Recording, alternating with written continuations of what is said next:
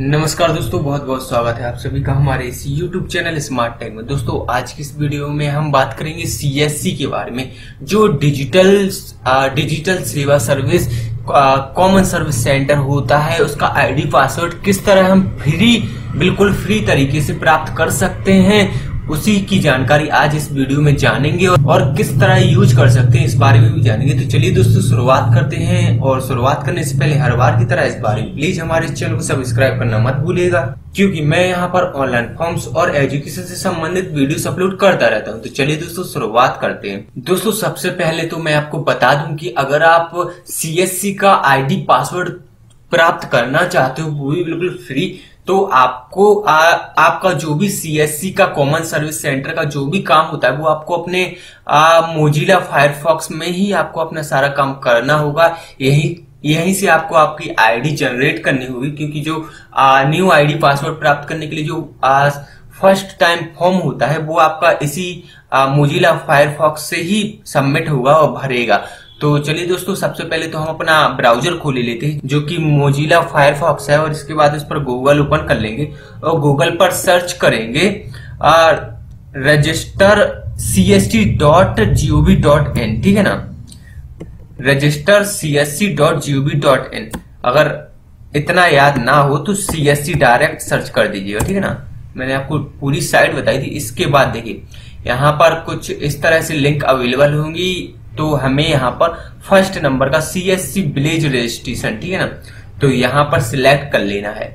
First number का जो option होगा, उसे सिलेक्ट कर लेंगे। इसके बाद देखिए, ये वही साइड ओपन हो गई है registered C S C dot government dot in इसके बाद हमें यहीं पर जो अप्लाई फॉर्म होता है रजिस्ट्रेशन यूज़र आईडी पासवर्ड का तो उसका फॉर्म हमें यहाँ से अप्लाई करना होगा, ठीक है ना?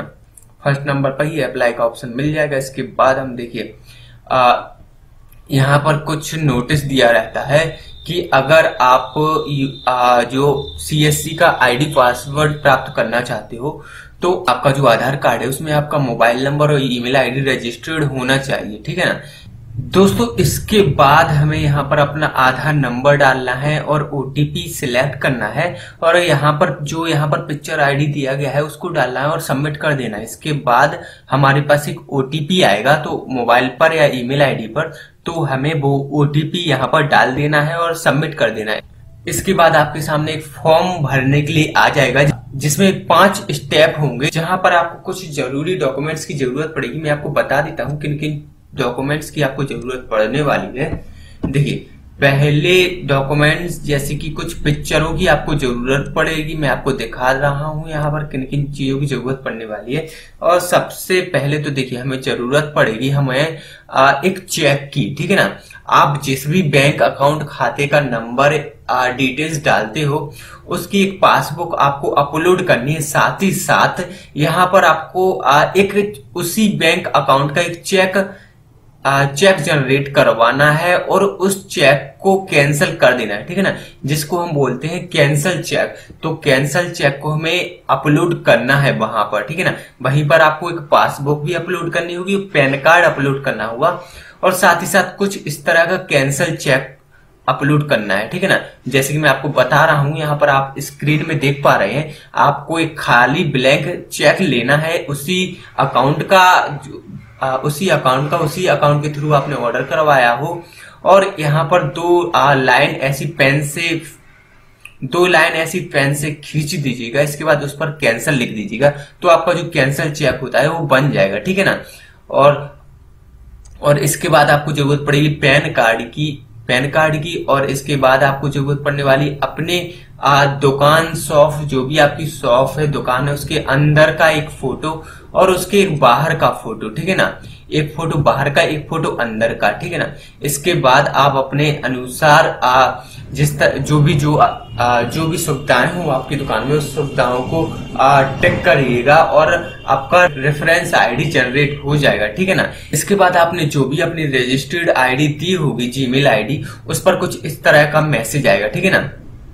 और यहाँ पर अगर आप ज़्यादा जानकारी देखना चाहते हो तो यहाँ पर एक टोल फ्री नंबर भी दिया रहता है। आप इस नंबर पर कॉल कर कर जानकारी ले सकते हो और इस मैसेज के बाद आपकी लगभग 25 से 40 दिन के अंदर अंदर आपके पास आपका यूज़र आईडी पासवर्ड आ जाएगा ईमेल आईडी के ज़रिए, जिसको आप इस जगह पर लॉगिन भी कर सकते हो। देखिए, आपको साइट बता देता हूँ डायरेक्ट कहाँ पर आपको लॉगिन करना है। देखिए, आपको डिजिटल सेवा dot C S C dot government dot in ठीक है ना? यहाँ पर आपको लॉगिन का ऑप्शन मिल जाएगा। देखिए, मेरा माउस का कर्सर जहाँ पर जा रहा है, वहाँ पर आपको लॉगिन का ऑप्शन मिल जाएगा मिल जाएगा। और जहाँ पर आपको 200 से अधिक सुविधाएँ आपको मुहैया करवाई जाती हैं मोदी सरकार के द्वारा। ये जो सीएससी का कॉमन सर्विस सेंटर जो होता है, वो ऑल इंडिया के लिए होता है। तो यहाँ पर आपको सभी तरह की PAN card, Aadhaar card IRCTC ऐसी सुविधाएँ आपको मिलती रहेंगी और भी कई ऐसी सुविधाएँ मिलेंगी जो कि आपको कहीं पर नहीं मिलेंगी। और साथ ही साथ अगर आप एक ऑनलाइन शॉप चलाते हो तो आप एक बेहतरीन इनकम का साधन भी बन सकेगा। तो चलिए दोस्तों, अगर आपको सीएससी सेंटर आईडी पासवर्ड लेने में कोई भी परेशानी आती है तो आप मुझे कमेंट बॉक्स में बता सकते हो। मैं पूरी कोशिश करूँगा कि आपके सवालों को जवाब दे सकूँ। तो चलिए दोस्तों, मिलते हैं नेक्स्ट वीडियो में। धन्यवाद।